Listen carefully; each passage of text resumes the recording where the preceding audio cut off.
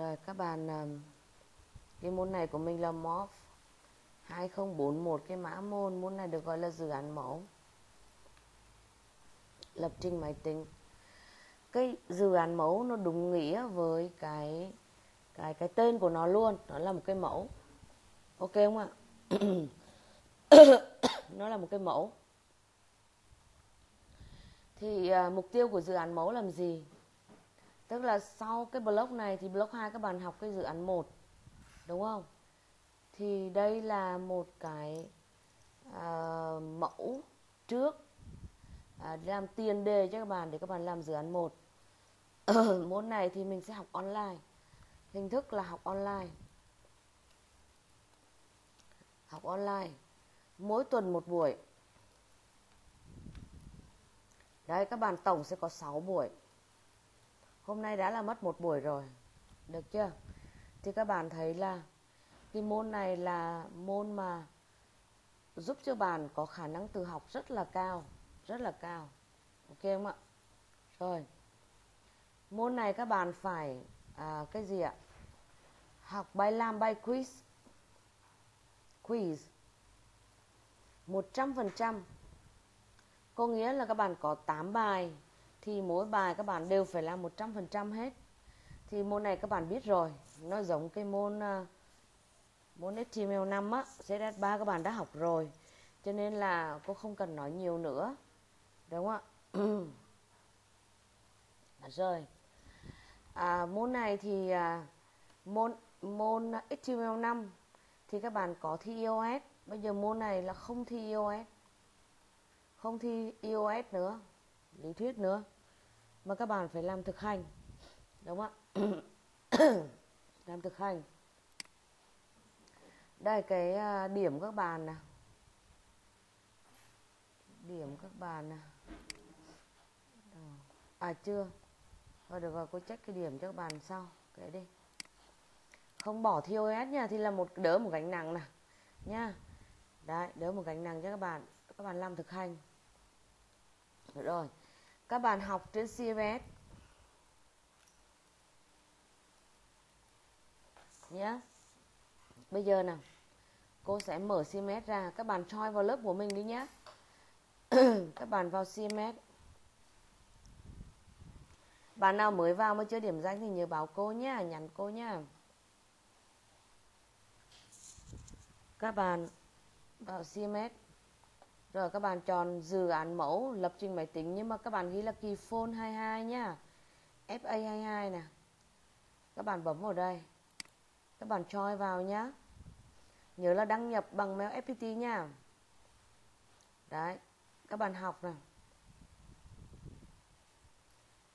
Cái gì? Huỳnh Minh Tân hả? Ok, Tân điểm danh.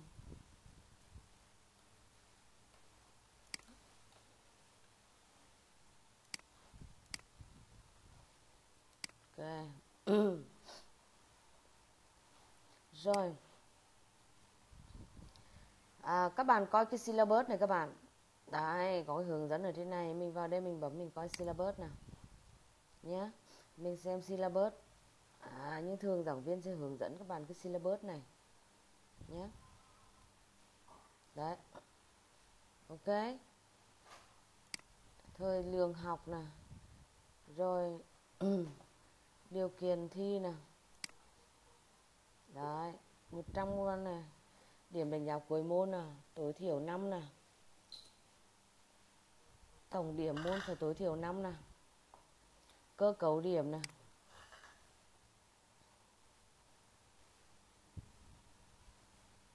Tám bài online nè. Đúng không? Đó. Video nè, online nè ok. Rồi à, uh, gray nè gray nè struct nè cơ cấu điểm nè.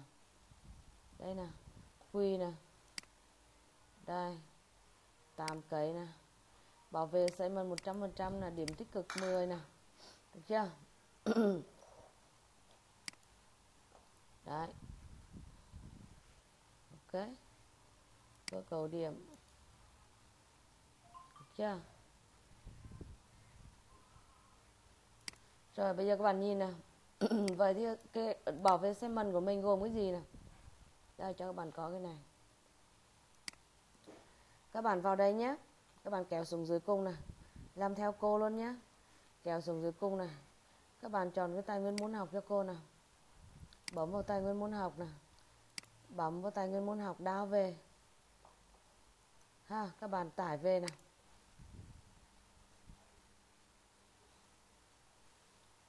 Đấy, tải về.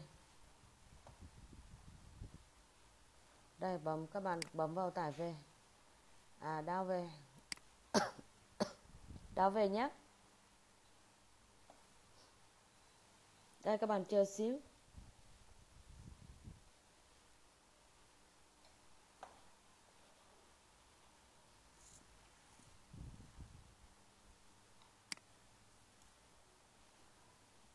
Rồi.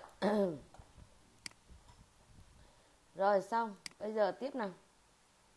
Bây giờ yêu cầu các bạn thứ nhất là làm bài quiz 100% yêu cầu thứ hai là các bạn phải đây.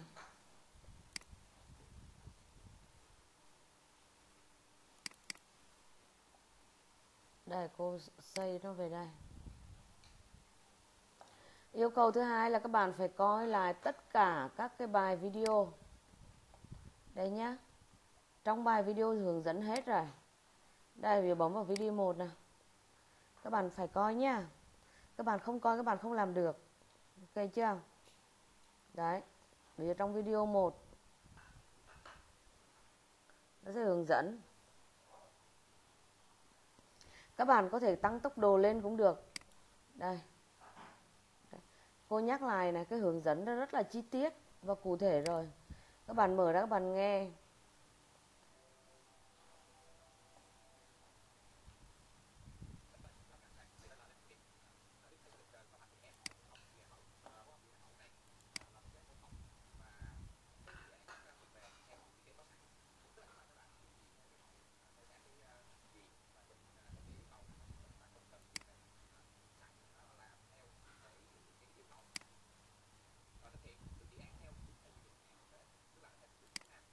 Đấy. Đấy. Được chưa? Coi hết những cái này cho cô.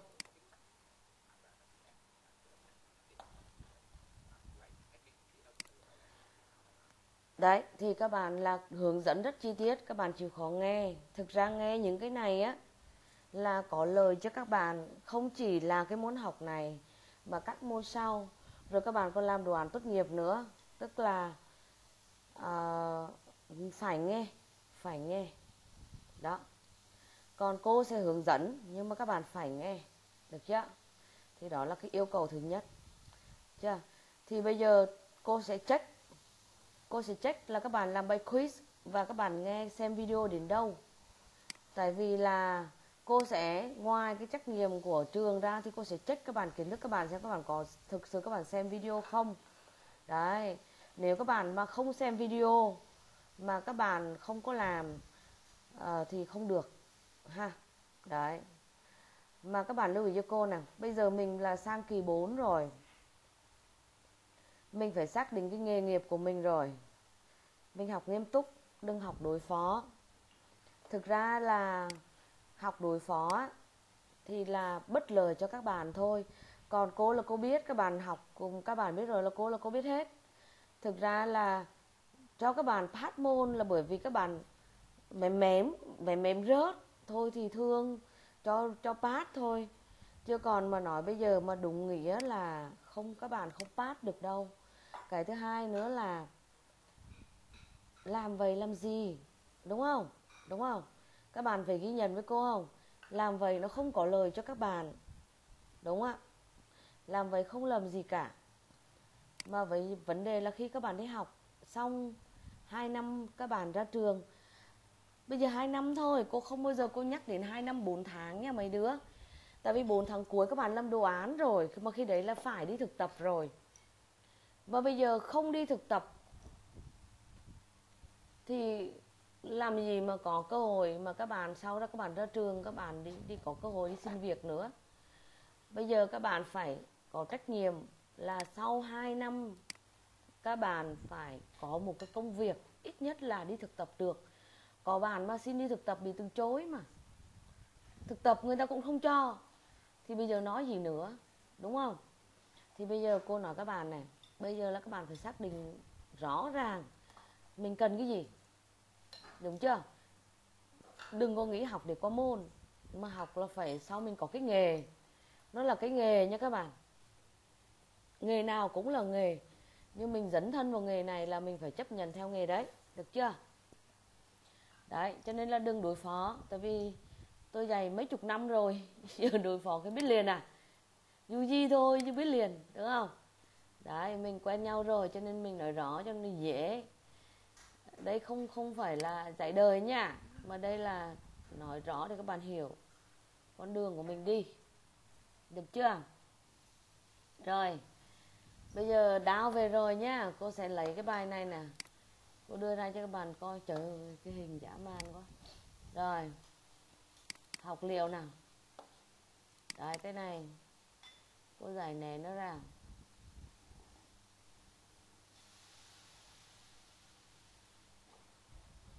Extract all.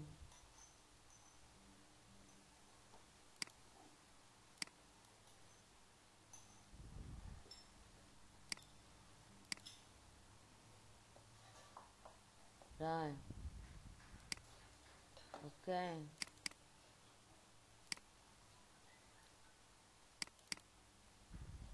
Đây. Hướng dẫn nào? Assignment này các bạn mở ra assignment đây có hướng dẫn assignment nhé mở assignment ra nè, chưa? Ừ. rồi. Các bạn kéo xuống nha.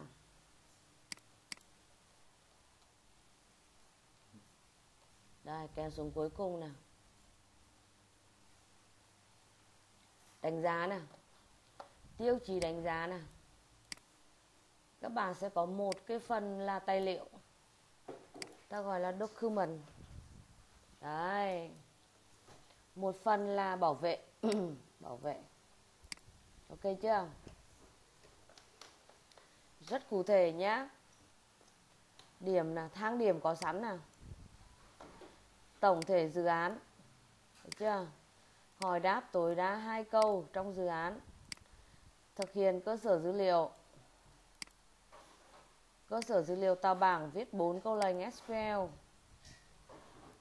cơ sở dữ liệu là tạo entity và DAO có điểm. Lập trình, ứng dụng cũng có điểm. Đó. Rồi cái môn này là môn mình giống như kiểu học lại môn Android cơ bản vậy đó. Ok chưa? Nhưng mà nó lại có một cái phần rất là quan trọng là cái phần tài liệu này các bạn này cái phần tài liệu này nè.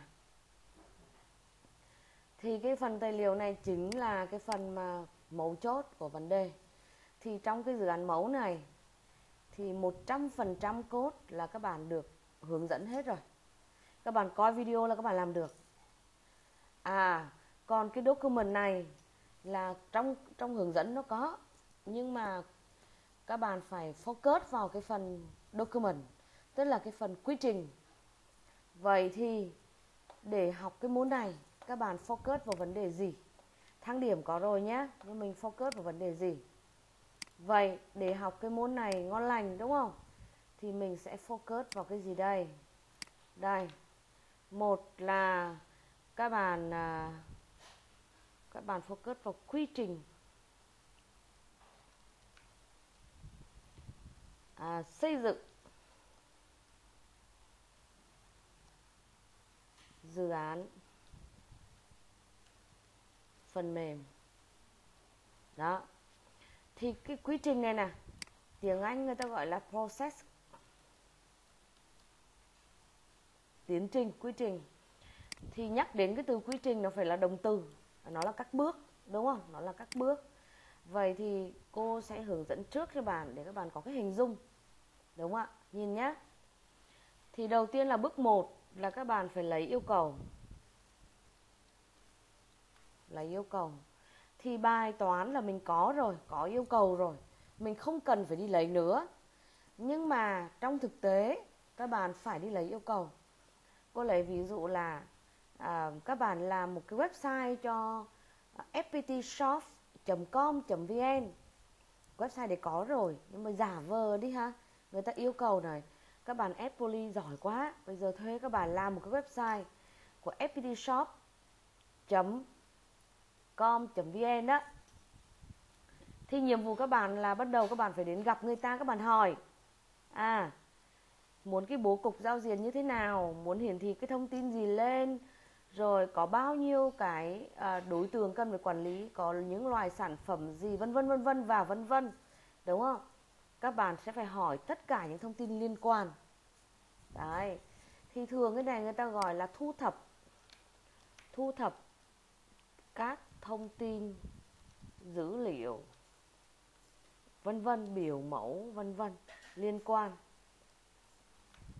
Đó rồi sau khi bạn thu thập hết rồi rồi hai là các bạn mới phân tích và thiết kế. Các bạn phân tích và thiết kế. Ok không ạ? Thì trong phân tích và thiết kế này cô chia các bạn hai phần. À một phần là à, phân tích và thiết kế database. DB cái phần thứ hai là à thiết kế cơ sở dữ liệu à quên, thiết kế giao diện, sorry. Thiết kế giao diện. Và cái này các bạn là UI UX cái nhà đó, nhớ chưa? Rồi, sau khi mà phân tích thiết kế xong, thì cái đó các bạn mới cốt nha các bạn. Ba. Cái để mới cốt các bạn gọi là thực thi đó thực hiện đó. Cái này ta gọi là cốt ha. Cái này mình gọi là cốt, đúng không? Nhiều nơi gọi là implement đó. Mình thực hiện. Thực hiện xong thì mình đến kiểm thử. Cốt xong hết rồi, có dự án xong rồi các bạn kiểm thử. Kiểm thử xong thì à năm là các bạn mới release cho khách hàng. Tức là triển khai khách hàng. 6 là cái bước cuối cùng, đó là bảo hành, bảo trì đó các bạn. Bảo hành, bảo trì. Bất kể sản phẩm nào cũng có bảo hành, bảo trì. Các bạn mua một cái điện thoại, bảo hành một năm. Các bạn mua một cái laptop, bảo hành một năm. Nhưng có một số bộ phận bảo hành 3 năm, vì thế. Thì bất kỳ một cái sản phẩm nào cũng có bảo hành, bảo trì. Đúng không ạ? Đấy. Cái khúc này mà hỏi phần mềm, nhiều bạn không biết. Không biết rằng phần mềm có bảo hành, bảo trì. Có đấy để tôi có thể giải thích tại sao lại có ha? Tại sao lại có? Rồi. À bây giờ cô đi nè các bạn lưu ý nè cốt này các bạn chiếm có 30% thôi. Test này kiểm thử chiếm 10% lận. Đúng không? Rồi à, bỏ test xong cái gì ta? Còn cái nữa nè cái uh, đây nè, sản phẩm đóng gói nó chiếm 5 phần trăm. Đóng gói sản phẩm đó, cái này có 5 phần trăm à đúng không là cái này 45% nè, khúc này 45% nè. Bảo hành không tính. À thu thập yêu cầu coi như có rồi, về cái phân tích và thiết kế này nó chiếm tầm 65 à 3 55% cái anh này. Dã man chưa? Khoảng 50 phần trăm. Ở đây thì có 5 phần trăm là uh, cấu trúc làm document thì coi như là 50% là anh này. Thấy chưa? Còn lại code có 30% à? Thì toàn bộ document là chiếm uh, coi như là trừ 10% là 80% thì anh này anh ờ, chiếm là 30% à 90% anh này 3% anh này nhưng anh còn lại là chiếm document là nó chiếm tận uh, 5 năm 5 năm là 60% đúng không? Vậy là cái phần mà phân tích thiết kế nè đấy, thì nó là cái phần cực kỳ quan trọng. Bởi vì sao? Nếu mà anh này phân tích sai, anh này đúng, lấy yêu cầu đúng, thu thập thông tin đúng, mà cái anh phân tích thiết kế này là sai, thì các bạn có cốt cái gì nó cũng sai. Cốt đúng thì nó cũng sai đúng không? Đúng chưa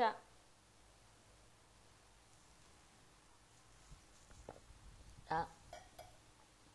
Rồi. À vậy thì bây giờ mình sẽ làm gì đây? Phân tích thiết kế là những cái gì? Thì đầu tiên là các bạn sẽ phân tích và thiết kế là sơ đồ. Sơ đồ. Cái này ở mức khái niệm này khái niệm. Tức là các hình vẽ làm trên guộc hoặc là làm trên sơ đồ. Ví dụ các bạn có sơ đồ EAD nè à, sơ đồ use case trước nè use case nè đúng không? Use case rồi EAD nè rồi có thể là class diagram nè vân vân. Đó mấy cái sơ đồ này. Rồi cái này cái mức vật lý. Vật lý thì cái nào thế nào được gọi là vật lý? Vật lý có nghĩa là các bạn phải sơ phải nắm được nó phải làm được trên nó. Là ví dụ như các bạn cài đặt trên MySQL các bạn cài đặt được trên facebook, các bạn cài đặt được trên um, uh, cái SQLite đúng không? SQLite á đó. Thì các bạn phải cài đặt trên cái đó. Thì cái đấy được gọi là vật lý. Thì cái môn này mình sẽ học là trên SQLite. SQLite này đúng không ạ? Ok. Mình phải cài đặt lên đây. Được chưa? Được chưa? Đó. Thì đó là thiết kế ở mức vật lý. Rồi còn thiết kế giao diện thì sao? À dùng UI UX đợt này sẽ có cuộc thi UI UX nha. Bạn nào mà à, à, thi các bạn thi thì các bạn à, đăng ký. UI UX là, là một cái nghề là một cái nghề nhá và đang hot. Và họ đã, người ta đang tuyển dùng cái UI UX rất là nhiều mà tuyển không có ra. Bởi vì sao? Các bạn sẽ đặt câu hỏi là tại sao đồ họa nó nhiều như vậy? Đúng không? Mà lại không làm được UI UX tại sao vẫn thiếu? Thực ra là cái những người học đồ họa họ không được học về phần mềm họ không có cái khái niệm về phần mềm.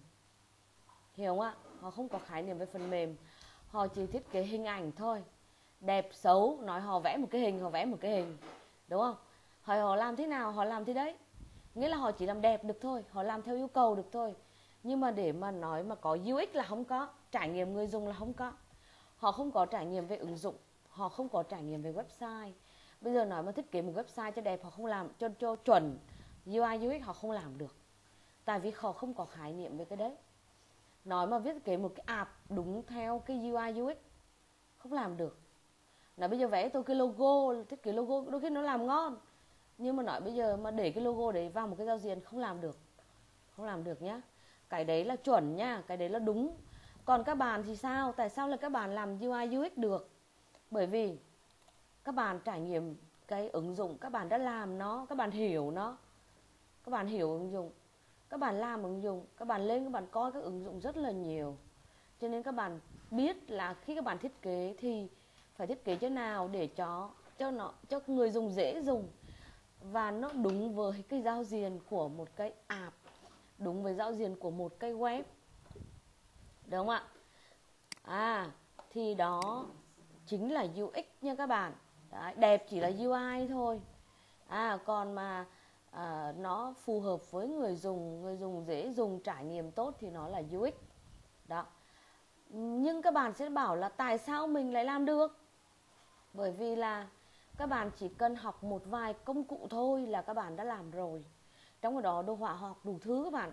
Học 3D học tùm lum họ học nhiếp ảnh họ học tùm lum á. Mà đến khi các bạn vận dụng trong này họ không vận dụng nhiều. À cho nên là đôi khi họ họ không có làm không quen đúng không? Đấy vậy thì mình sẽ cần phải học công cụ gì? Một có thể học được AI à, AI là Illustrator. Chờ chờ cô cô nghe điện thoại xíu nha. Các bạn à, các bạn chỉ học một vài công cụ là ví dụ như Adobe. À, Illustrator. Đúng không? Illustrator đó. AI đó AI nhưng mà AI này không phải là trí tuệ nhân tạo nha mà là công cụ. Hoặc là nhé hoặc thôi cô không nói hoặc là Photoshop. Đấy thường cô thể học AI nhiều hơn. Nhiều người học AI nhiều hơn. Rồi các bạn làm à, thiết kế thì dùng cái Figma. Figma đang rất là thịnh hành nhá. Hoặc là dùng cái Adobe. À, XD đấy à, thì các bạn có thể dùng bất kỳ công cụ nào để các bạn thiết kế. Đấy thì cái này là dùng để các bạn thiết kế. Nhưng mà nó có một số khái niệm liên quan đến UI UX nữa. Mà nếu các bạn mà tham gia cuộc thi UI UX các bạn sẽ được trải nghiệm. Có nghĩa là có các chuyên gia để dạy các bạn. Cái đấy cô nói thẳng luôn nhá cô không biết. Cô không biết. Cô chỉ biết được một số thôi. Ví dụ cô nghiên cứu về giao diện của à, của mobile đúng không? Thì cô biết à một cái giao diện mobile thì phải đặt các cái à, các cái cái cái cái cái cái, cái layout các cái cái cái gọi là các cái um, uh, uh, gọi là các cái view như thế nào cho hợp lý nè. Xong rồi giữa khoảng cách giữa các view là bao nhiêu dp nè. ví dụ cô để là uh, 4 dp hoặc là khoảng cách giữa viền đó cái viền các bạn các bạn lưu ý nhá các bạn thiết kế mà đừng có để cái viền nó để viền nó sát quá nó sẽ mất viền và rất là xấu nhé, thì nó khoảng bao nhiêu dp ví dụ cô khoảng 8 dp bo góc thì bao nhiêu là hợp lý? Bo góc nhiều các bạn bo góc mười mấy dp thực ra bo góc nó khoảng 6 dp thôi. Như thế. Thì cô nghiên cứu chỉ được đến đấy thôi. Nghĩa là đặt như nào khoảng cách kích thước như nào ở trong một cái giao diện uh, của mobile. Đó nó có quy ước hết nha các bạn. Có quy ước đấy chứ không phải là các bạn làm sao cũng được đâu làm nó xấu lắm. Và khi đi làm người ta không chấp nhận đâu. Một cái giao diện như vậy người ta không chấp nhận đâu. Và uh, các bạn sẽ được học cái đấy. Các bạn được học cái đấy. Mà các bạn học nhiều hơn nữa nó có quy tắc nha các bạn. Và có chuyên gia. Thì khi các bạn tham gia cuộc thi cái này là khi các bạn tham gia cuộc thi thì sẽ có những cái buổi chia sẻ của các chuyên gia. Đấy đăng ký một cái là các bạn bắt đầu các bạn à, chốt cái lịch đăng ký. Hình như đâu ngày bao nhiêu chốt nhỉ? 20 tháng 9 hay sao ấy? Bữa nay 12 đúng không? Ờ, à, 20 tháng 9 hình như là chốt đăng ký. Thì chốt đăng ký một cái thì các bạn sẽ hỏi người ta ban tổ chức sẽ tổ chức các cái buổi để training cho các bạn. À, những cái buổi talk show để nói về à, thế nào là UI UX phải thiết kế nào quy chuẩn như nào vân vân và vân vân. Và một cái nữa rất là quan trọng nhé các bạn. Đó là những bạn nào những nhóm nào thể hiện tốt người ta tuyển các bạn luôn. Người ta đang tại sao tổ chức cuộc thi? Nhà trường tổ chức cho các bạn chơi. Sân chơi là nhà trường tổ chức. Nhưng tại sao họ trôi vào? Tại sao họ lại tham gia nhiệt tình mà không có một cái đồng phí nào? Tại sao họ tài trợ?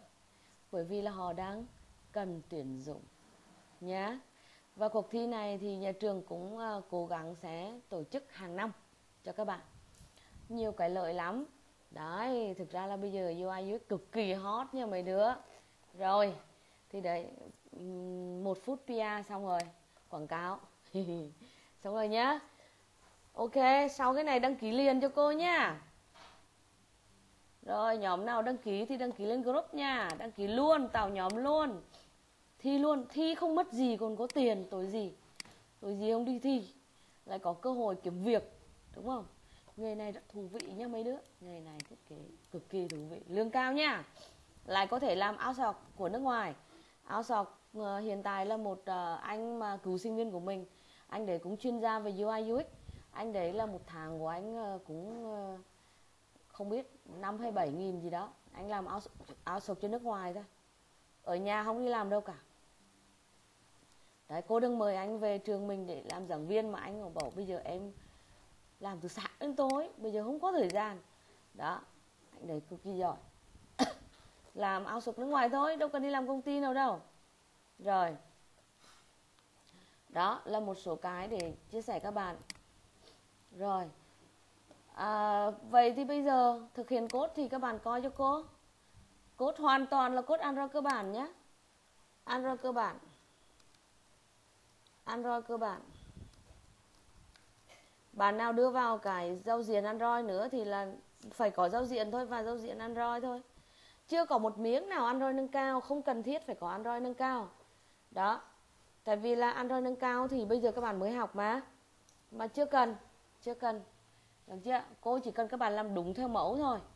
Nhưng mà phải thực sự là cốt các bạn làm. Cái nào không hiểu, chạy không được, các bạn cứ inbox vào group để hỏi, để giải quyết vấn đề. Các bạn copy, thì khi đi thi các bạn cũng không làm được. Thật sự. Mà khi đi thi thì các bạn chấm bằng cái năng lực các bạn. Một tiếng đồng hồ các bạn nhắm làm nổi cái này không? Nếu các bạn không làm, một tiếng đồng hồ các bạn làm, nhắm làm nổi từng này không? Nếu các bạn không làm và đề mở nhá, cho đề mở đàng hoàng, nhiều bạn có cho mở. Các bạn có tài nguyên, các bạn có thể copy sang, không cần gõ từng dòng.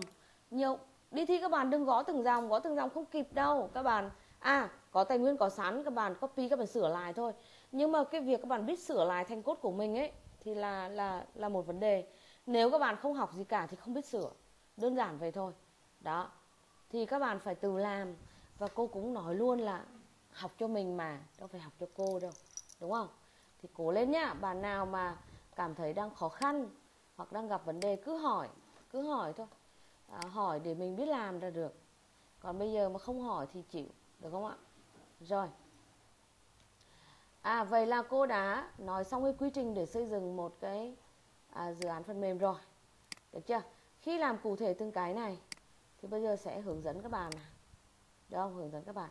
Thì các bạn xem nhé các bạn xem hướng dẫn thì quy trình này của cô và quy trình trong video nó hơi video nó hơi khác nhau một chút xíu thôi. Nhưng bản chất nó là một đấy nhá. Đấy các bạn đừng nói ủa sao cô nói khác mà video nói khác? Không khác được chưa? Đấy nhưng mà cô chỉ phân tích ra cô chỉ nói lại một chút xíu thôi. À, cái này là cái kinh nghiệm thực tế đấy các bạn được chưa?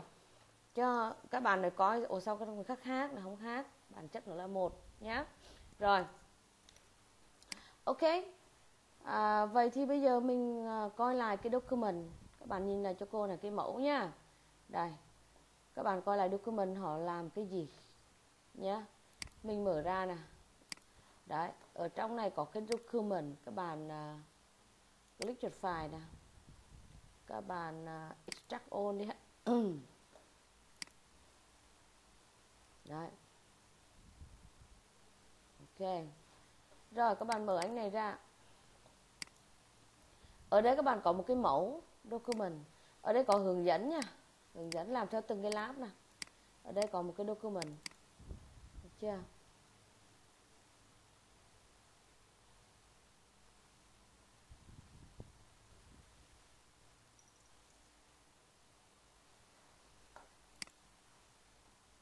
Đây. Các bạn để nguyên cái mẫu này, sửa lại tên của mình.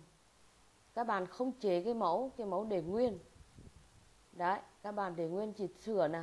Tên giảng viên là tên cô hường, không phải tên tèo, ha. Đấy, học viên không phải nở, mà học viên là bạn hoa, nhá. Đấy, lớp kỳ fe bao nhiêu đó, đúng không? Rồi, sửa lại cái ngày tháng. Cái này không sửa. Cái này sau này các bạn click chuột phải, các bạn cập nhật, update, fill cái là nó sẽ tự cập nhật. Không sửa cái này. Không sửa cái này. Ok? Được chưa? Không sửa anh này. Rồi, bắt đầu sửa anh này nè thứ nhất là cái phông chữ. Đây, các bạn có thể sửa lại cái phông chữ cho nó đẹp đẽ. Được không? Đấy, đây người ta để vậy thôi chứ các bạn đừng để cái màu mè như này. Thứ nhất là phông chữ các bạn bấm vào đây nè bấm vào cái phông chữ, các bạn bấm vào đây nó sẽ sửa lại hết nha. Các bạn click chuột phải, các bạn modify. Được không? Sửa lại nè thay vì màu đỏ, các bạn để màu đen. Được chưa? Thay vì cái phông chữ bự như này, các bạn để phông chữ vừa phải thôi 14 được rồi. Không để cái phông chữ quá bự, được không ạ? Rồi, ok cái. Rồi, nhìn nhá tất cả những cái gì phông chữ mà có cái cùng kích thước màu đỏ này, nó đổi hết nè đổi đổi sang đen hết nè thấy chưa? Đổi sang đen hết nè à còn anh này, anh cái khác nha. Anh này cái khác. Rồi, cái tương tự cái heading này vậy. Đây, heading tiếp theo. Đây, giới thiệu màu xanh này. Các bạn heading hai này, các bạn cũng vậy. Các bạn cũng Ctrl Z đi rồi, các bạn vào đây, các bạn cũng sửa lại nè. Modify. Các bạn sửa lại cũng màu đen cho cô. Đấy, cái này cũng 14 hoặc 13 thôi. Cô thường để kích kích thước 13 à? đấy, thì tất cả mọi cái màu xanh nó đổi theo này, các bạn thấy không? Đổi theo này. Các bạn không cần phải đi sửa từng cái một nhé rồi, cái cái cái cái này cũng vậy nè. Đã, các bạn click chuột phải nè. Đấy, các bạn modify nè, cũng đổi màu đen như cô đấy đổi hết màu đen cho cô cũng kích thước 13 thôi nhé 13 thôi ok. Cái khác không sửa cô chỉ sửa mau chữ rồi thử xong. Đấy nhìn nó khác này, được chưa? Nhìn nó khác. Sửa lại cái này cho cô. Được chưa? Rồi. Đầu tiên đó là bước đầu tiên bước thứ hai nè. Cái này nè cái mà màu xanh này nè là cái gợi ý cho các bạn. Các bạn phải dùng cái phông màu đen còn màu xanh này gợi ý tức là cái phần này là phần giới thiệu về thư viện đúng không? Giới thiệu về đồ án. Thì các bạn mở cái assignment ra. Đấy thì trong assignment nó sẽ có giới thiệu này, đây. Đấy thư viện là một thư viện gì đó. Vì vậy đó giới thiệu. Các bạn đây. Okay. đây.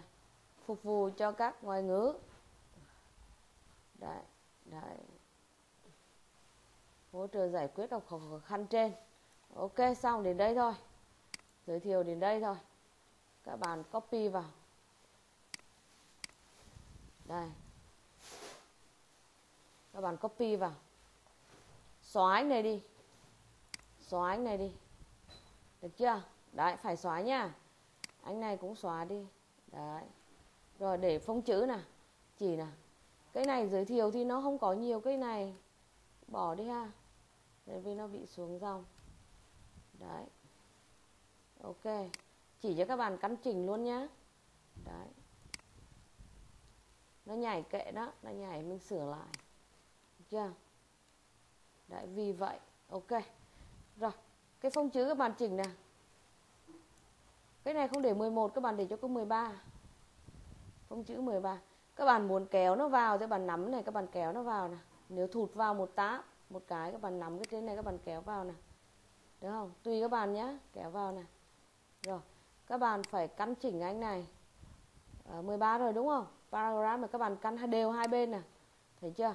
Và dán dòng nè cái này dày quá. Dán dòng nè vào paragraph nè dán dòng nè. À, left là 0,31 kệ là first line nè. Đấy cái này là before after các bạn để cho khoảng 6 dp nè. Đấy before nè cái mà đừng để single các bạn để khoảng 1,5 line nè. Ok cái này nó dán ra nè. Thấy đẹp chưa? Đấy rất đẹp nhá. Đó. Tức là nó sẽ có khoảng cách nè. Đấy. sau này các bạn chỉnh một cái thôi những cái sau các bạn bôi đen này các bạn copy copy format là được. Đấy, copy format là được. Đó. Thì cái format của nó là như vậy. Được chưa? Thì các bạn lưu ý cho cô là như vậy. Đấy. Rồi cái thứ hai bạn nào, các bạn có thể viết khác nha đấy cô ví dụ thôi, lấy cái ý đó, các bạn viết sửa lại cái của mình, nhưng không cần quá dài. Viết ngắn gọn. Bạn nào có thể, các bạn có thể sửa mấy cái ý này. Nhưng mà không quan trọng lắm đâu. Quan trọng các bạn hiểu là được rồi. Rồi yêu cầu nè. Thì yêu cầu thì yêu cầu như thế này. Yêu cầu sau nè. Về phần quản lý thì là có cái này nhá về phần thống kê có cái này về phần bảo mật có cái này về công nghệ có cái này. Đó là yêu cầu. Được chưa? Rồi và thêm nào, à, xong cái yêu cầu đó để các bạn cũng đưa vào đây. Rồi bây giờ lập kế hoạch dự án nào, đây các bạn lập kế hoạch dự án theo mẫu thì các bạn sẽ lập cho cô như sau. Phân tích yêu cầu khách hàng. Các bạn làm bao nhiêu lâu vì hôm nay là bắt đầu là ngày 12 tháng 9 năm 2022 kết thúc sẽ là phân tích thì hạnh ngày vì hai ngày là 14 tháng 9 năm 2022 thì khi nào hoàn thành các bạn ghi các bạn ghi là hoàn thành. Như thế. Đó, vẽ sơ đồ user case sơ đồ EAD đấy vân vân. Được chưa? Đấy vẽ sơ đồ user case à à cái này là phân tích và thiết kế. Quên thì à, phân tích thiết kế các bạn giả sử các bạn để cô là hai tuần hoặc một tuần thì ở đây 12 đến tuần sau. Như thế mình sẽ hôm nay 12 đến tuần sau là 19 à, ví dụ 19 thì trong đó là vẽ sơ đồ user case các bạn làm bao lâu? Đấy từ 12 tháng 9 à, đến 10 15 tháng 9 như thế. Đấy thì đã hoàn thành chưa? Đó cái này chưa hoàn thành thì bỏ ra cái này đang làm. Thế. Ok. Đấy, cái tiếp tục bước sau hai là thiết kế ứng dụng. Đấy. Ok, thiết kế ứng dụng. Hoặc là thiết kế giao diện, đúng không? Thiết kế giao diện. Đấy. Thiết kế ứng dụng. Ứng dụng. Thiết kế mô hình công nghệ, vân vân. Xong các bạn thêm cho cô là thiết kế giao diện bằng Figma nữa nhé đây hai là thiết kế ứng dụng. Đó các bạn cứ thêm vào các mục. Nếu các bạn không chia được mục 2 á, thì các bạn cứ chia là 1 2 4 5 6 7 8 đấy kiểu như thế. Đấy hoặc là các cái mục lớn giống như cô chia ở bên này. Đấy, các mục lớn một là yêu cầu. Cái này không cần lấy phân tích thiết kế thì ở đây có vẽ sơ đồ các thứ. Rồi uh, cơ sở dữ liệu SQLite đúng không? Rồi thiết kế giao diện. Đó hoặc là bốn thực hiện. Thực hiện ba thực hiện là cái này. Thực hiện dự án ok? Đấy tạo giao diện vân vân. Đấy được chưa? Đấy các bạn có thể là ghi từng mục như thế ghi vào đây. À, từ ngày nào đến ngày nào. Phải ghi hết nha các bạn đừng có bỏ. Cái này là tại sao phải ghi? Nếu như các bạn làm một mình ấy thì cô không nói. Các bạn làm nhóm nhiều người là các bạn phải chia việc cho các bạn đấy. Chia việc thì phải có ngày bắt đầu và cái kết thúc. Tức là cái chia công việc các bạn phải tuân thủ quy tắc smart. Quy tắc smart quy tắc smart là nó có smart SMART đúng không? SMART năm tiêu chí. Tiêu chí thứ nhất là gì? S là cụ thể rõ ràng. À, yêu cầu phải rõ ràng. Danh mục hàng mục phải rõ ràng. Thứ hai là a là achievable à, s s là uh, s m m là measurable là có thể là đạt đó được đạt được đó được à, nghĩa là các bạn phải làm được cái đó. Cái mà mơ hồ mà không làm được thì họ không có đưa vào. Rồi chữ A là achievable là phải có kết quả. Nó phải đạt được kết quả gì đúng không? Mà R là reliable là nó phải thực tế. Và cái cuối cùng T là time là deadline đó. Deadline phải có ngày đầu ngày kết thúc. Đó.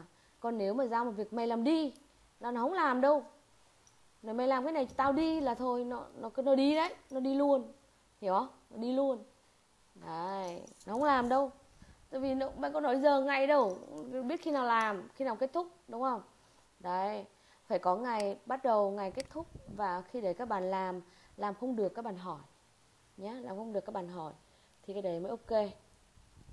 Rồi à, tiếp cái này nhá làm tiếp cái này cho cô. Xong rồi rồi khi làm thì cái chỗ này cũng phải bỏ đi cho cô. Bỏ đi cho cô. Đấy nhá. Mình không có không có để nó. Đấy, cái chữ màu xanh là bỏ. Ok cho nó thu lại xíu. Đó. Chữ màu xanh là bỏ nhé rồi đến ờ, phân tích yêu cầu khách hàng. Đây. Bắt đầu các bạn mới vẽ sơ đồ user case nè. Cái này cũng bỏ đi ha mấy cái xanh xanh này bỏ hết rồi các bạn mới vẽ sơ đồ user được chưa? 2.1 cái cái này không phải 2.2 đâu nhá cái, cái này là cái check đấy. Đấy cái này là cái check đấy. Đấy. Vẽ sơ đồ user rồi đặc tải yêu cầu hệ thống đúng không? Đó đặc tải yêu cầu hệ thống vân vân chưa? Rồi à, mô tả chức năng vẽ sơ đồ user case xong á, thì phải đặc tả à, SRS là mô tả chức năng trong user case á. Đó. Ví dụ như là làm công việc gì vân vân thì mình mô phỏng lại cái user case này. Tức là user case là sơ đồ chức năng đúng không? Rồi cô sẽ lấy cho các bạn một cái mẫu về sơ đồ chức năng nha.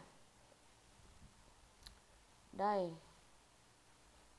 À, lấy cái mẫu về sơ đồ chức năng nha các bạn đây à,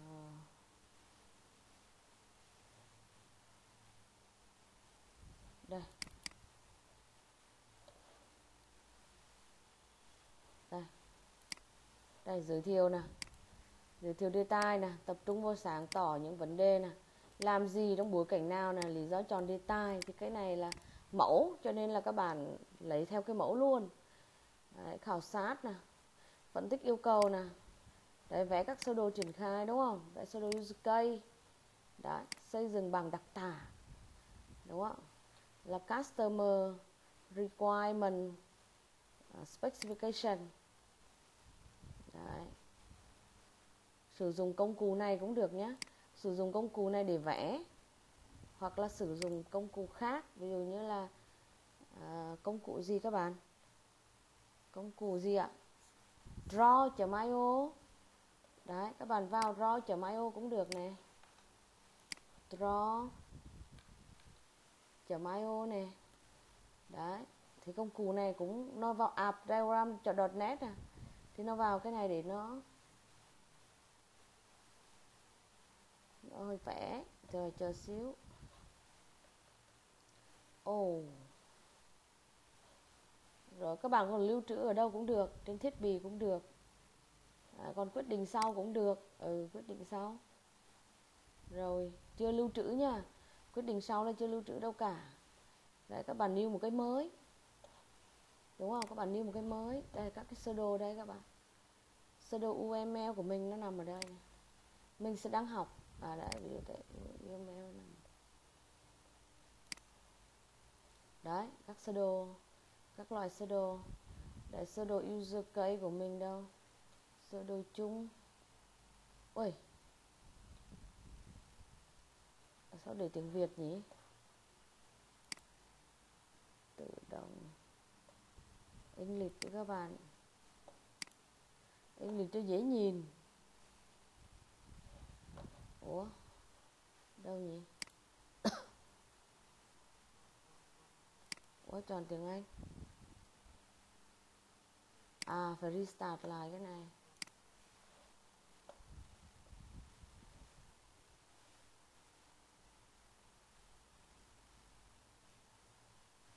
Đấy rồi nhìn này dễ hơn nè general nè. Đấy à, cái này là entity relation nè sơ đồ quan hệ nằm ở đây nè. Đấy ok entity relation nè thấy không? Các user case nè. Sơ đồ id nè cái này vẽ sơ đồ id nè. Còn bình thường thì uh, sơ đồ cái này là user case nè. Đâu rồi? Đây UML và UML đi đây UML nè. Thay sơ đồ. Đâu rồi? UML đây. Đấy, thì các bạn trỏ vào đây thấy cái này là user cây nè. Thấy chưa? User cây nè. Đấy, cái này là action nè. Đấy, thấy chưa? Ok. Rồi. Hoặc là cái này, hoặc là theo cái mẫu thì có cái này. Có cái này. App lucid chat này cũng được nè anh này cũng ok nhá. Rồi mình sẽ có sơ đồ triển khai nè. Thì mình sẽ có là đối tượng khách hàng, đối tượng sử dụng cái ứng dụng là ai nè. Đúng không? Mình không phải dùng SQL Server mà mình sẽ dùng là SQLite nè. Và cái này của mình là mobile app nè. Đúng không? Đối tượng khách hàng của mình là ai? Ví dụ như là quản lý sách. Đúng không? Quản lý mình là quản lý thư viện, đúng không? Vườn sách. Thì có thủ thư nè đúng không ạ? Đối tượng là thủ thư nè. Và đối tượng thứ hai sẽ là sẽ là gì ạ? Là à, khách tức là cái, cái cái cái sinh viên. Nhưng mà sinh viên không tác động vào hệ thống ha.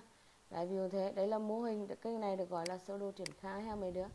Đấy cô sẽ copy anh này cho các bạn nhé. Mẫu nè. Đấy một số mẫu nha. Đây sơ đồ triển khai đấy. Ok các bạn phải vẽ lại nha cái này chỉ là cái mẫu thôi mẫu này không có đúng nha. Mẫu này cái của mình sẽ làm khác mẫu. Hai là sơ đồ tổng quan hệ thống thì của mình đây là cũng đối tác nè. À, cái này là tương đối tượng là tác động hệ thống nè. Rồi cái này thì là à, các cái user case về hệ thống quản trị mình mình không có cái admin tool. À, tức là mình khác cái này cái này có web cái này là web cho nên nó sẽ có một cái là website một cái admin tool mình chỉ có một cái mobile app thôi. Thì các bạn cũng phải vẽ lại cái hình này. Ha, vẽ lại cái hình này. Ok. Cái này là sơ đồ tổng quan hệ thống nhá.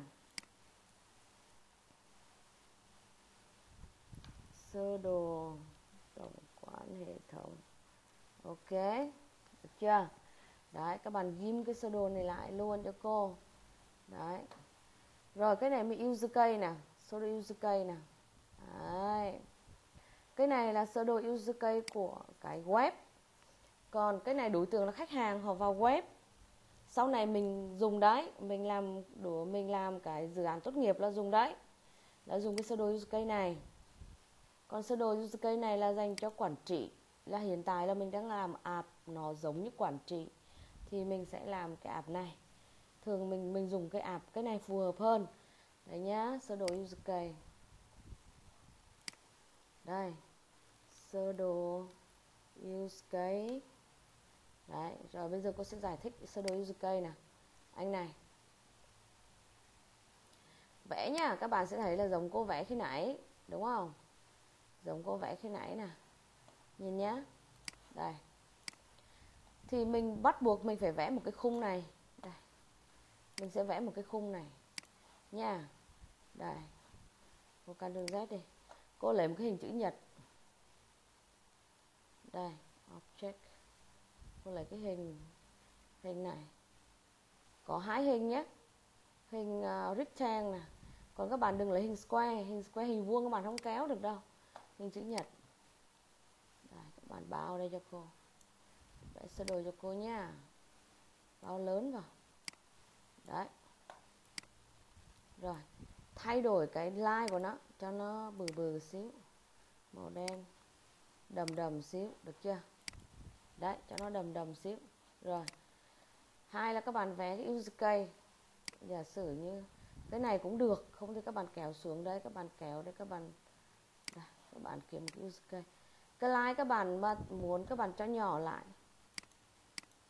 Đấy cho một thôi một dp thôi. Đây các bạn sửa cái này ví dụ các bạn là à, đây cô lấy ví dụ thủ thư nha cô bấm anh này vào đây thủ thư. Đây. Đây nắm này thả vào đây nhé cô để các bạn nhấn F2 cũng được nè các bạn để là thủ thư đúng không? Thủ thư thì được làm gì? Thủ thư không có đăng ký nha các bạn không có đăng ký. Tại vì quản trị cho nên là thủ thư không có quyền đăng ký tài khoản và ở đây thì các bạn, đầu tiên là các bạn sẽ, anh này phải đăng nhập trước. Các bạn nhìn nào. Các bạn, anh này phải đăng nhập trước thì anh được làm gì? Anh được quản lý sách, đúng không? Ví dụ vậy thôi. Ví dụ là cái này quản lý sách. Quản lý sách. Đúng không? Các bạn sửa lại cho nó đẹp đẹp xíu. Nó vừa nè.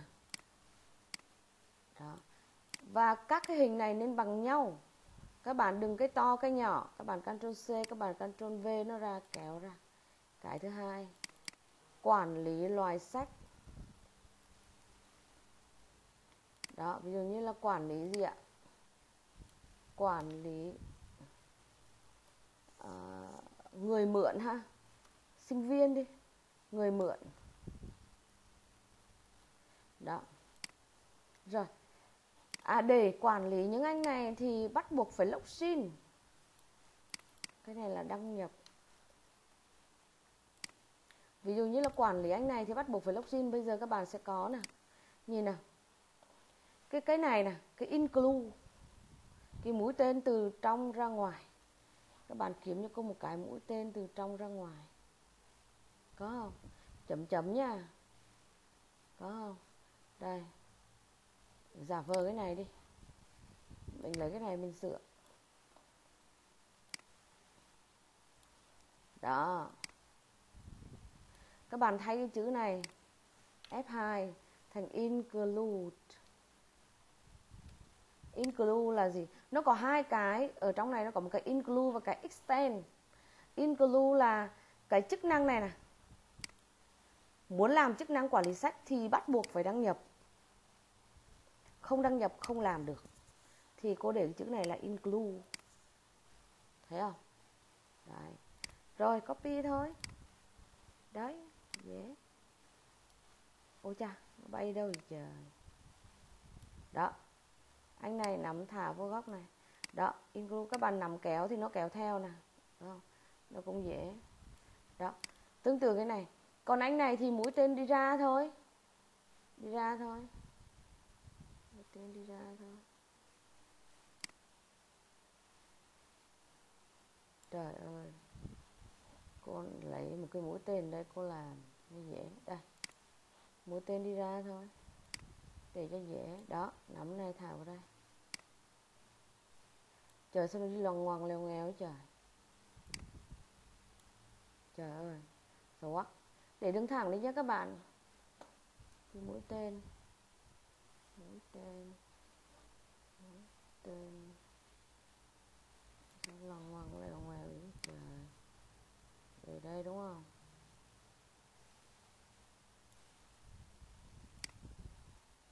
Ủa sao nó cứ ngoằn ngoèo nhỉ? Hoặc là các bạn làm xong hết rồi, các bạn mới đê, đưa cái cái này vào trong nè. Đấy, nó đỡ ngoằn ngoèo. Đấy. Các bạn làm xong hết, các bạn mới đưa cái này vào cũng được. Đó, nhưng mà, nhưng nhưng mà phải có cái khung nha nhưng mà vẫn phải có cái khung cho cô nha thử đưa vào cái cây à nó sao á? Rồi cô lấy cái mũi tên khác. Tức ghê á. Đây nó cũng ở đây nó còn mũi tên là mấy đứa. Đây. Ghê. Đấy. Nó đỡ ngoằn ngoèo hơn nè đấy. Đó. Ok chưa? Đấy thì nó có, có, có mấy cái mũi tên khác nhau. Các bạn nhìn nhé đấy đưa cái nhãn vào chấm chấm còn cái chấm chấm đó, có cái chấm chấm, đúng không? Có mũi tên. Tròn thì cái này, cô được nhớ là nó chấm chấm ấy nha. Đấy, cái này mới là chức năng trực tiếp này. thì cái này nè, là chức năng, đây, chức năng trực tiếp. Được chưa? Còn cái này là chức năng mà của anh thủ thư này làm được, nhưng trước khi làm được anh này phải bắt buộc phải đăng nhập. Đấy, cái này cô thay bằng include chưa? Cô quay lại cái à, đấy cô chọn cái mũi tên lại trên này trên nên cho nó dễ kéo này nhớ nhá, kéo thẳng đi, đừng kéo lòng vòng, các bạn nhìn nó khó. Đây, kéo thẳng cho dễ ha. Đó, ok, kéo vô. Vậy đó. Thì đây là cái sơ đồ user case và cách vẽ sơ đồ user case và các bạn phải liệt kê là có bao nhiêu chức năng. Các bạn cứ liệt kê vào đi, xong thiếu, sai, có sửa. Đó, và cái mẫu nè. Cái mẫu là cô gửi cho các bạn đó. Cái mẫu là cô gửi cho các bạn đó. Rồi, bây giờ nè quản lý hàng, mặt hàng, quản lý sách thì nó có xem thêm, sửa xóa, tìm kiếm và phân trang. Mình không có phân trang thì mình bỏ, và mình có tìm kiếm nha. Vậy thì mình cũng làm y chắc như vậy. Mình lấy một cái hình hình đây, hình này. Thấy không ạ? Hình này hình này được gọi là hình nốt nha các bạn. Đấy, nó đúng nghĩa nốt luôn. Hình khác là nó không có đúng ạ. Được không? Hình khác là không có đúng đâu. Hình này, cái nốt các bạn để ngang đây, đó đấy chưa? F2 vô. Xem thêm sửa xóa. Rồi tìm kiếm. Phải có tìm kiếm nha cho nó nhỏ nhỏ xinh xinh vào đây. Đấy, cái xóa mà bị đe thì các bạn đẩy cái xóa xuống.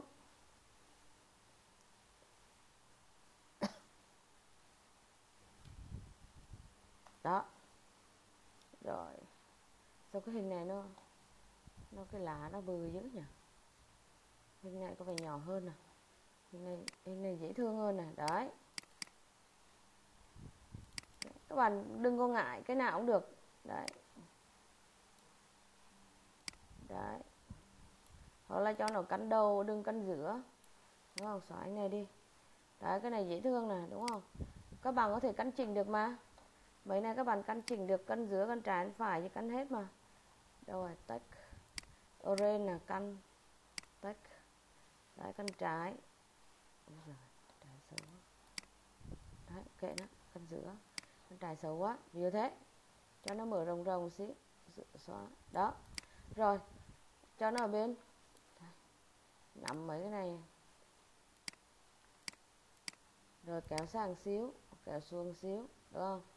Rồi, tất cả những anh này thì đều cần phải xem thêm sửa xóa hết. Được không? Đấy.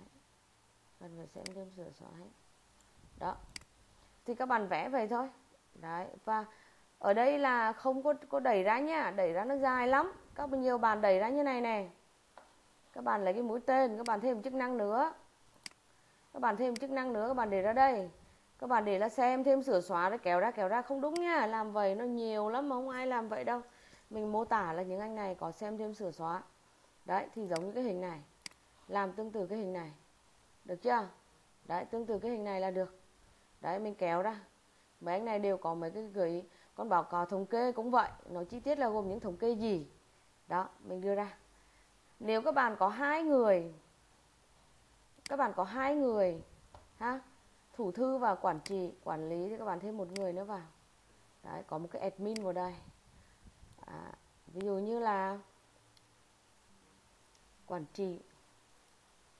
Đó. Thì ví dụ như là thủ thư. Thủ thư thì không thể nào mà tạo thủ thư được. Chỉ có quản trị mới có quyền tạo thủ thư.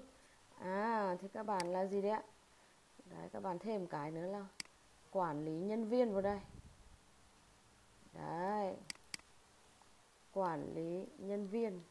Tức là quản lý thủ thư luôn đấy. Thì chỉ có anh này mới có quyền thôi. Nhá anh khác không có quyền. Ctrl C, Ctrl V ha. Đấy, nắm. Thả vào đấy. Thả vào đấy. Ok. Đấy. đấy, chỉ có anh này mới có quyền quản lý nhân viên thôi. Chứ anh này không có quyền. Vậy thì sao ạ? Tức là lúc vào các bạn lúc mà tạo các bạn phải tạo một cái account trước account đấy là admin. Lúc các bạn tạo phải tạo một account admin trước. Và account admin này sẽ tạo những cái account khác đúng không ạ? Tạo những account khác. Đấy. Giờ các bạn nhìn chưa?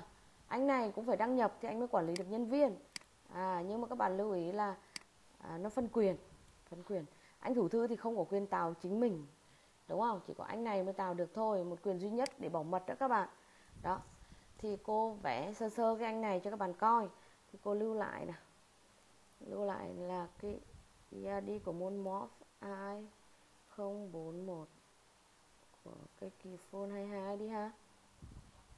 Lưu trên Android ha. Đấy. À, mình mình đăng nhập. Mình đăng nhập vào OneDrive các bạn dùng OneDrive cho nó dễ. Đấy. Ok.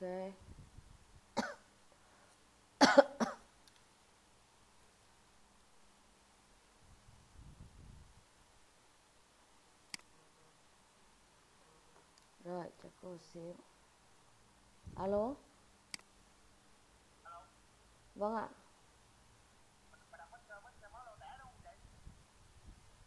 À, dạ vâng cái gì ạ? Cái gì ạ? Đặt gì ạ?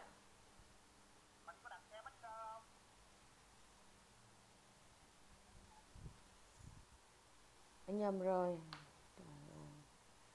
Rồi, ok. Cô sẽ lại cái mã đây rồi. Chờ xíu. Chưa có ta. Chưa thấy gửi ha. Chờ xíu đôi khi màng méo gì đó lâu á cô đăng nhập vô cái.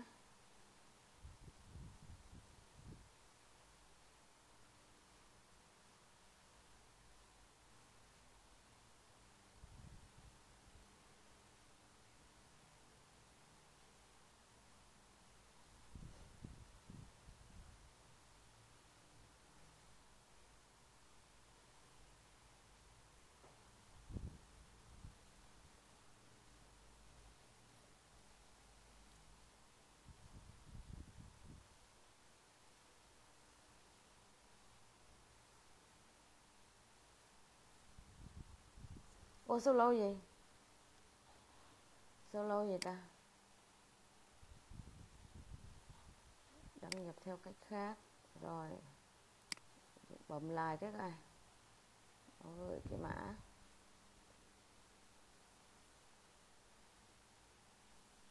Ây da, Nó bị gì ta?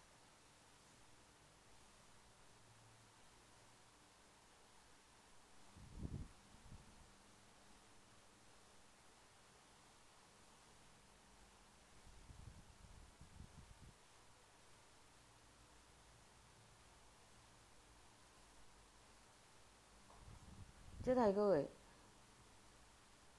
chưa thầy gửi à kỳ quá.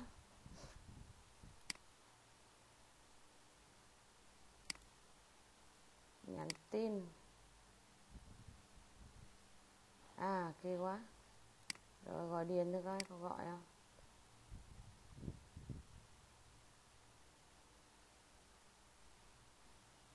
Ê, không gọi luôn mấy đời vì gì á? Cái gì á trời? À rồi gọi nè.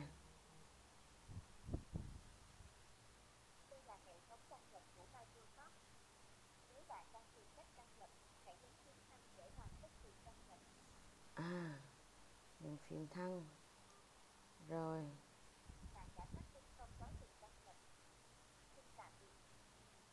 Rồi, trời ơi mạng nó chậm á. Giờ mới gửi mã cho cô này đấy, hay không? Trời ơi, trời. Chậm á. Ok. Yes, sử dụng cái rút luôn. Không sao hết. Trời, nó gửi liên tục về. Rồi, cô lưu lại ha, các bạn cũng làm đây, lưu lại. Xong các bạn xuất ra gửi cho cô. Thực ra xuất ra chụp hình cho quên, xin lỗi. Đây, các bạn à, đừng có chụp hình như này. Chụp hình như này nó xấu. Các bạn xuất ra các bạn export as một cái png hoặc jpeg. Đó ok export. Đấy có thể là jpg ok. À, lưu cũng được mà không lưu cũng được nhé à, ờ, cô để là open new window tức là cô không có lưu. Đấy các bạn thấy là khi các bạn xuất ra thì nó không có cái lười lười lười lười nữa. Các bạn chụp hình cái này hoặc lấy cái hình á lưu lại lấy cái hình nộp cho cô hoặc là các bạn chụp hình lại cũng được. Đấy cắt cái hình này chụp hoặc lưu lại. À, để lấy cái hình nộp ờ, à, cọc dán vào trong cái guộc ha. Đấy khi vẽ xong thì các bạn dán vào trong guộc. Dán vào trong guộc. Đây dán vào sơ đồ use case được không? Đó. Xong các bạn mới làm tiếp. Đấy thì đó là cách làm. Thì đó là sơ đồ user case nhá. Đó. Thì ngoài ra các bạn còn một số cái sơ đồ khác. Ví dụ như là sơ đồ mô hình công nghệ. Các bạn dùng công nghệ gì? Các bạn liệt kê ra. Cái này cũng thú vị nè nhá thì à, cô sẽ lấy cái này. Mình không dùng cái này các bạn phải sửa lại. Làm cho đẹp vào nhá. Sơ đồ mô hình công nghệ. Đây. Sơ đồ mô hình công nghệ. Đó đó. Rồi tiếp. Một vài cái sơ đồ khác. Vẽ lại cho cô ha. Sơ đồ EAD đây cái sơ đồ EAD này là cô cô vẽ đây. Đấy nó có mấy level ha level thứ nhất là level đầu tiên này là các bạn vẽ sơ đồ này thôi. Thực thể nè quan hệ thực thể. Tại vì mình có thể nhiều bảng. Thì sơ đồ này có mẫu nó có đó mẫu nè. Sơ đồ này trong mẫu nó có. Đây sơ đồ này nè các bạn thấy không? Là chính cái cô vẽ. Thì các bạn vẽ lại nhé không lấy cái, cái hình này mà các bạn vẽ lại. Vẽ lại với cho màu vào cho nó đẹp ha. Hai nữa là chi tiết thực thể. Ở đây không có nhưng mà các bạn vẽ ra chi tiết là mỗi thực thể nó có bao nhiêu thuộc tính các bạn vẽ ra. Đấy các bạn vẽ ra. Đấy ok cái này là cô làm mẫu thôi nhá. Cái này là sơ đồ EAD à, chỉ có à, thực thể và thuộc à, và và quan hệ đúng không? Là anh này. Còn cái này là chi tiết thực thể và thuộc tính vẽ riêng từng cái ra nhìn cho nó rõ và đẹp rõ ràng. Cái này là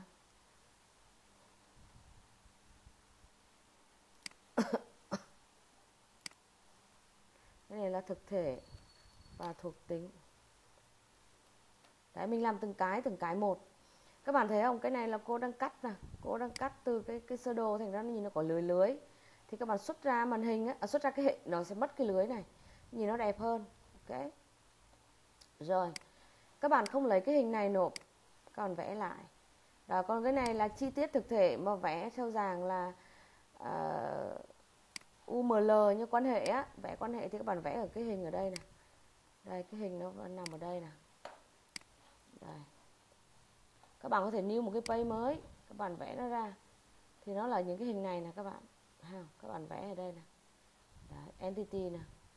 Đó, vẽ ở đây nè kế hoặc là vẽ từ đây nè. Đấy, cái này là class diagram rồi. Đó thực thể thì các bạn vẽ từ entity này dễ hơn nè. Đấy thì hình đấy nó giống y chang cái hình này nè. Nó giống cái hình này. Đó các bạn vẽ ra. Phải từ mình vẽ nhá. Đó. Đó và sau để các bạn mô tả nó có những cái trường gì ở dưới. Được chưa tả cái trường gì. Ok? Đấy. Và cái này là cái cái gì ạ? Cái này chính là cái À, sơ đồ tổ chức giao diện. Đấy các bạn có những màn hình gì giao diện gì các bạn vẽ ra? Đấy, từ các bạn vẽ nhá. Còn các bạn không lấy cái hình này. Và cái này là thiết kế giao diện cái này là Figma này. Không lấy cái hình này nhá. Các bạn phải vẽ vẽ cô, cô lưu ý nè một số lưu ý nè đây nè cô sẽ ưu tiên nhá. Các bạn lưu ý nè lưu ý cách chấm điểm của cô nè đây lưu ý cách chấm điểm nhé. này cô ưu tiên cái gì? Đầu tiên là cô ưu tiên cái quy trình hơn là cốt nha cốt chỉ có 30% à đừng cốt. Các bạn sẽ được đánh giá cao khi à các bạn thiết kế hoàn thiện. Xong 10 cốt. Đó. Được đánh giá cao nè. Mà đúng quy trình nha. Đó. Đó, đánh giá cao. Là thiết kế. Hoàn thiện, xong mới cốt. Đại thiết kế Figma. Thiết kế Figma hoặc cái khác. Đó. Xong rồi mới cốt giao diện. À không đánh giá cao hoặc là bị trừ điểm. Nếu cốt giao diện xong rồi mới chụp hình. À người ta không làm này, nhiều bạn là cốt giao diện vẽ vẽ vẽ, xong các bạn chụp hình đưa vào ở trong cốt. Không có. Được chưa? Rồi. Đầy đủ. Đầy đủ. Các bước. Như hướng dẫn. Nó bao gồm là phân tích, thiết kế, cốt kiểm thử. Đóng gói. Tức là phải đủ hết. À, có nhiều bạn làm luôn cái hướng dẫn sử dụng nhưng mà cũng không cần. Trong phần này là không cần làm hướng dẫn sử dụng. À, nhưng mà cái hướng dẫn để cài đặt thì có nhé rồi đóng gói. Rồi hướng dẫn cài đặt. Đấy các bạn để ý nè. Cốt không đánh giá cao cô không đánh giá cao cô đánh giá những cái phần khác cao hơn. Tại vì các bạn biết là cốt các bạn cốt rất là dễ. Cốt dễ nhìn cái người ta cốt nhìn theo các bạn cốt được nhìn theo hướng dẫn các bạn cốt được. Mà cốt thì các bạn là cốt uh, có gì đâu có mấy câu lệnh các bạn cứ lặp đi lặp lại thôi đúng không? À nhưng mà cái quy trình mà các bạn theo được mới khó. Các bạn làm đúng quy trình nó mới khó. Và cái đấy mới là cái cần thiết cho các bạn. Chứ còn thực ra là cái môn, cốt môn này nó nằm trong cái môn ăn cơ bản và giao diện các bạn học hết rồi. Bạn nào không biết hỏi, cô trả lời trả lời bất cứ câu hỏi nào. Lỗi, quăng lỗi lên, các bạn khác hỗ trợ hỗ trợ các bạn khác fix lỗi thì cô cũng cộng điểm nhé hỗ trợ trong group. Và quan trọng thứ hai, quan trọng tiếp theo nữa là làm đúng deadline. Các bạn đặt deadline xong, các bạn làm đúng deadline thì được cộng điểm. Đó. Đấy, nộp mà không đúng deadline là trừ điểm. Được chưa? Ok, lưu ý như vậy. Tức là cô đánh giá cao những bạn nào mà làm theo quy tắc, quy trình. Cái đấy mới là quan trọng. Đi lại, đi làm cũng vậy các bạn. Đi làm cái đấy mới là quan trọng. Và thực ra cái đấy người ta gọi là thái độ nghề nghiệp đấy. Đấy, đi làm á mình không phải thái độ tốt là mình ở mình ờ, chào người này, hỏi người kia rồi gì đó. Cái đấy là thái độ sống thôi, đúng không? Mình quan hệ người này, mình chơi người kia rồi mình đi nhậu rồi mình giữ giao lưu, cái đấy là thái độ sống nha. Phải biết giao lưu, nhưng mà cái đấy là thái độ sống. Còn có một thái độ nữa là thái độ nghề nghiệp. Thái độ nghề nghiệp các bạn. Bạn nào tuân thủ quy tắc thì các bạn thành công lắm. Được chưa? Đấy, thì anh này chính là thái độ nghề nghiệp đó. Đấy rồi cốt thì cốt đúng cốt cốt đọc tức là đặt đặt tên đúng chuẩn đúng quy ước. À, cốt sạch cốt phải sạch sẽ. Đó vì thế document cũng phải đẹp có điểm document vân vân. Đó. Thì một cái đấy người ta gọi là thái độ nghề nghiệp nhá. Đấy. À, nghề nào thì nghiệp đó đúng không? À, nghề nào thì thái độ đó nhiều bạn đi phục vụ thì thái độ phải là chào khách rồi sạch sẽ tiêm tất rồi nhiều cái. Còn mình cốt thì cốt phải sạch sẽ.